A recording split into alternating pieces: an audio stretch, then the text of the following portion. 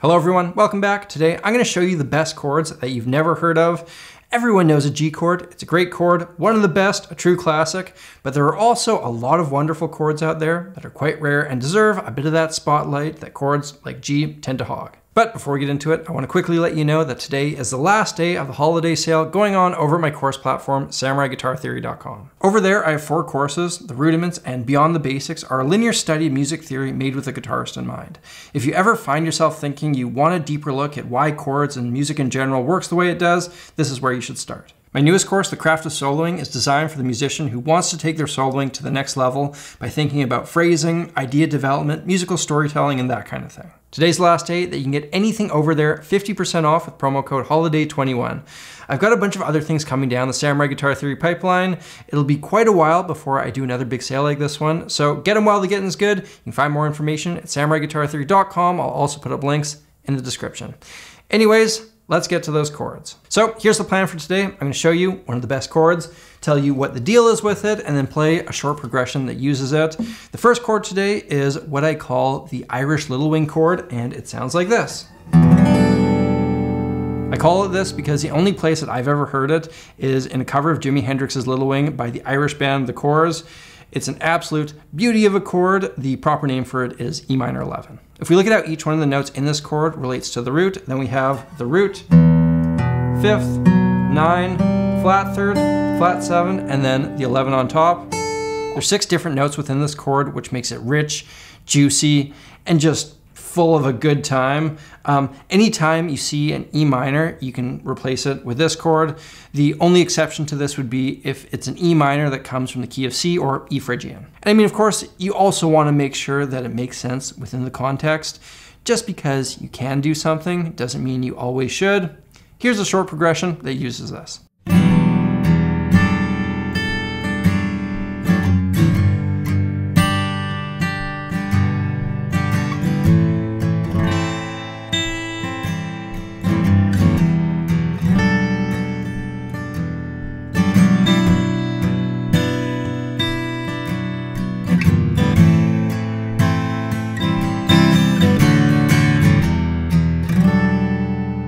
Next up, we've got a set of chords that I call the Dave Matthews chords, not only because he's the only guitarist that I've ever seen use them, but because he uses them a lot. These chords are ridiculously easy, they're a ton of fun to use, and they sound great. There's only two shapes that we need to know. First, we put our middle finger on the second fret of the low E string, the A is muted, open D rings out, and then our ring finger goes on the second fret of the G string. Both these two fingers are on the same fret. This is shape one, and it sounds like this. For shape two, we move up our middle finger, one fret, A string's muted again, open D still ringing out. But now this time, our ring finger is one fret above where the middle finger is. Sounds like this, and this is shape two. And what we're gonna do is move these two shapes through the key of D major. Starting off the F sharp again, we have shape one, off of G, shape two, off of A shape two, B is shape one, C sharp is shape one, and then off of the D we have shape two. And what's great about these is you can create really nice patterns with them. They're easy to slide around and they all sound good together, so you really can't go wrong. Check out an example.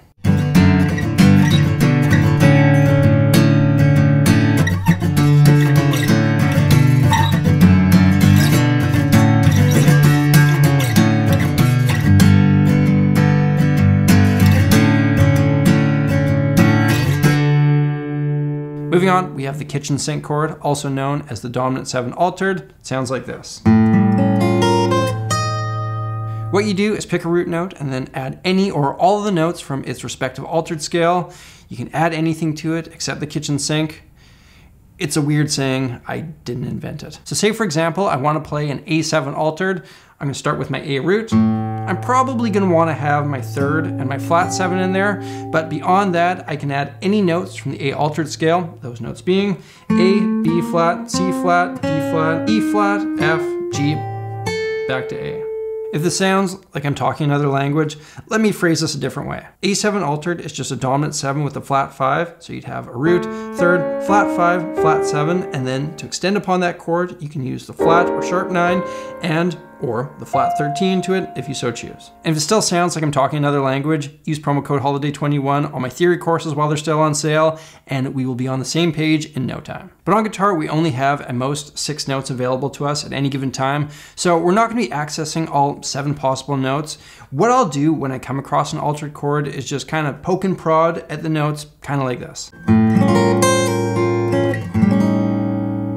Typically when we come across these altered seven chords, they're gonna lead into a minor chord that's a fourth above or fifth below. So my A altered seven will typically lead into a D minor. And here's a little chord melody that uses these quite a bit.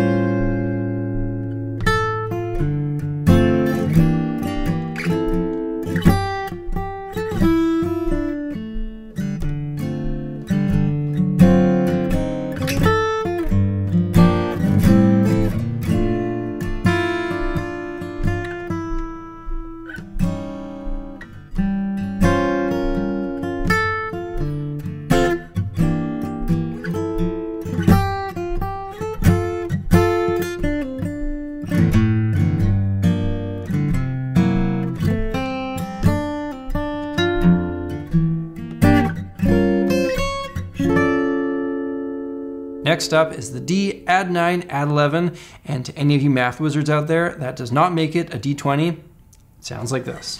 If you can play an open C, you can play this chord because all you need to do is take your open C shape, move that exact same fingering up two frets, and there you have it. I'm gonna go on record here and say that this is my favorite guitar chord.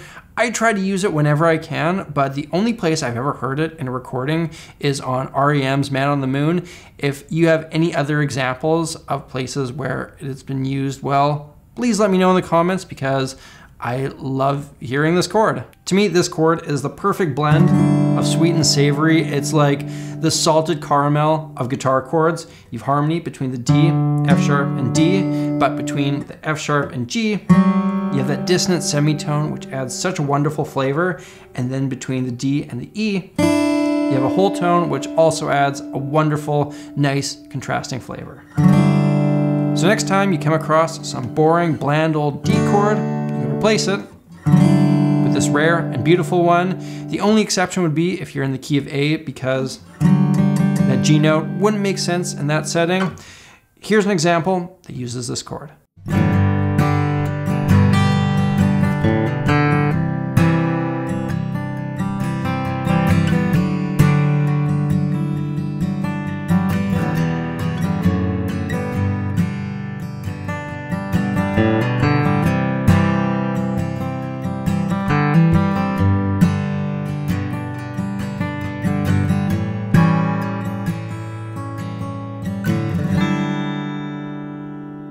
Similar to the last one, we have kind of the minor version of it, which is the D minor 11, a D minor chord with that open G and E ringing out.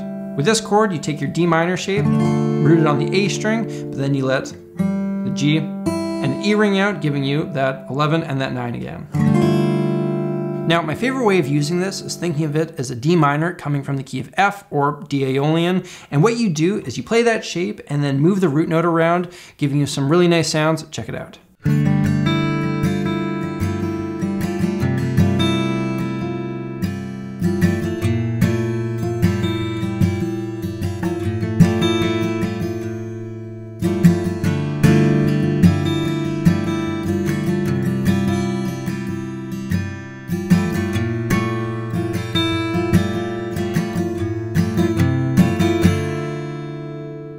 Next is the third inversion, drop two voicing of a major seven chord. It's a mouthful, it sounds like this. And the best way to explain this is by using a visual. Let's look at a C major 7, which has the notes C, E, G, B.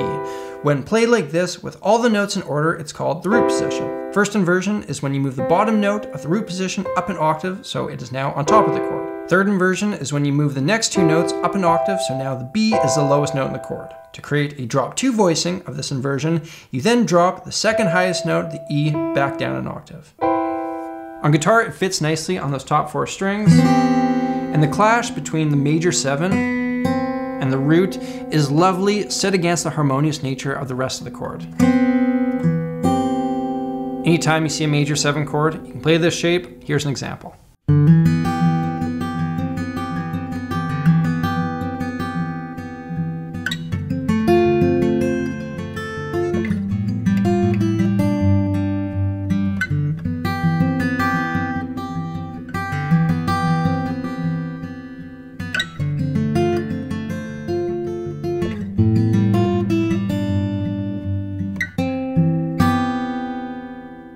Moving on, we have this chord, which would be an A sus2 with a sharp 11. For this one, I have three open strings ringing out, the A, the B, and the E, and then I play a major third between the B and the D sharp.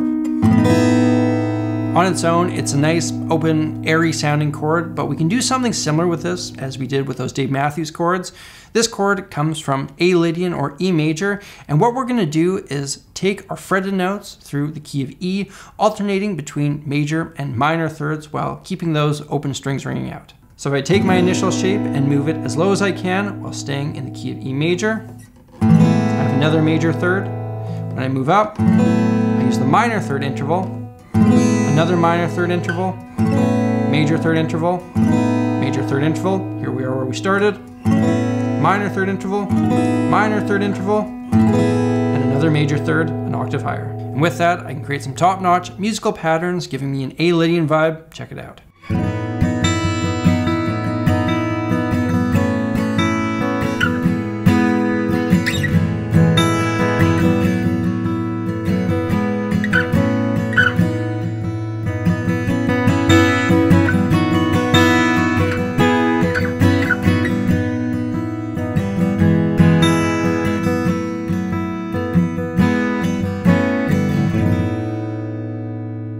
For today is a chord that gets a giggle whenever it's mentioned, and people always ask me if it is in fact a real chord. It's a chord that I think deserves a little bit more respect, the C6-9. Within this chord, we have the root, third, fifth, giving us our bass triad, but we also have the sixth and the nine, giving us quite a bit of character. I love using this chord specifically at the end of songs. Ending with a plain old boring triad can be so predictable. But by swapping out that C with a C6-9, we end on something that actually makes the ear go, hey, that's pretty cool. See, when a 6-9 chord is used right, everybody gets pleasure from it, but because of its complex nature, if it's used in the wrong setting, it can be awkward, clumsy, and just a bit of a mess. Here's a good old 6-9 in a setting that does make sense.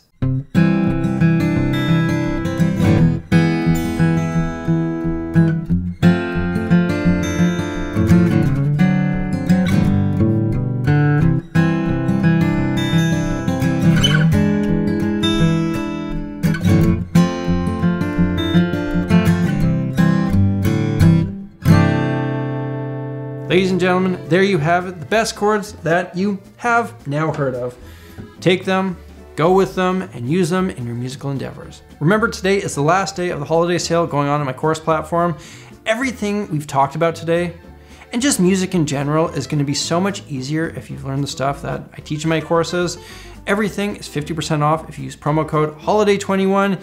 Use that promo code while you still can. More info at samuraiguitartheory.com. Links in the description. Thank you all for watching, and an extra big thank you to everyone who supports my channel through Patreon. If you want to check out another video like this one, hit that link up there. If you're new here, hit that subscribe button, ring that bell, and stay tuned for a wide range of musical content. Till next time, look after yourselves, look after each other, look after the planet. I'm Samurai Guitarist, and I'll see you again soon.